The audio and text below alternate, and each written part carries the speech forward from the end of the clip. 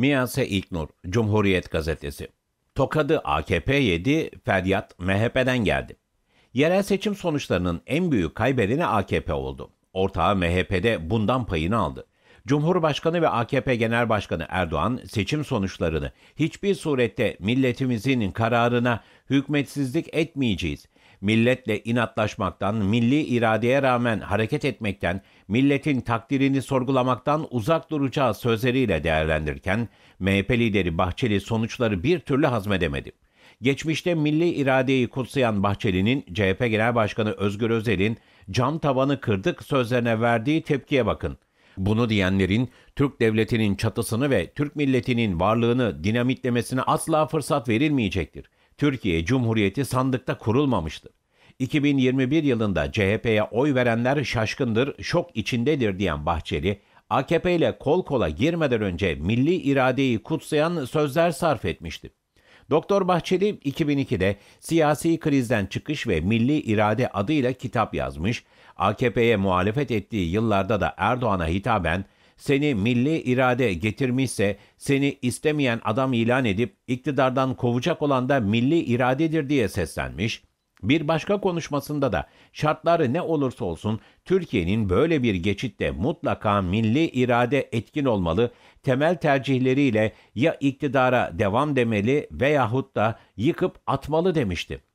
Devlete görevi henüz bitmedi. MHP Genel Başkan Yardımcısı Fethi Yıldız, Bahçeli'nin milli iradeyi yok sayan sözlerinden sonra hızını alamayıp, insanlar vardır şafak vaktinde doğar, akşam ezanında ölürler sözleriyle kimi tehdit etti? Akıl tutulması yaşayan MHP yönetiminin AKP'nin kendilerinden kurtulmak için arayışlara girmesi korkusu mu acaba? Tek korkusu bu olsa iyi. Muhalefette olmasına rağmen büyük bir yenilgi alan İyi Parti'deki kongre sürecinde Akşener'in genel başkanlıktan gidecek olmasından da korktuğunu gösterdi. Daha önce evine dön dediği, defalarca tehdit ettiği Meral Akşener'e şimdi gitme biraz daha kal diyor.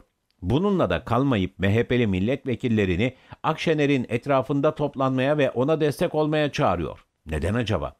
Akşener'in devlete karşı olan görevi henüz bitmediğinden mi yoksa İyi Parti'de yaşanacak bir lider değişiminin partisine kötü örnek oluşturmasından duyduğu tedirginlik mi? Her ikisi de olabilir. Akşener sonrası İyi Parti'nin muhalefete muhalefet politikasına son verip iktidar karşısında merkezde konumlanacak bir parti olması Cumhur İttifakı'nın işine gelmeyeceği aşikar.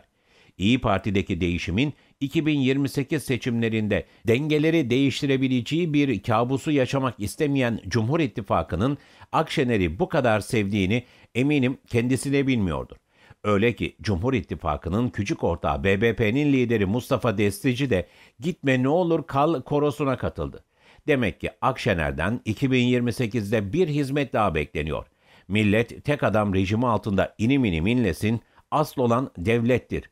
Adı Cumhur olan ittifakın çelişkisi de burada. Millet devlet için vardır. Devlet kim?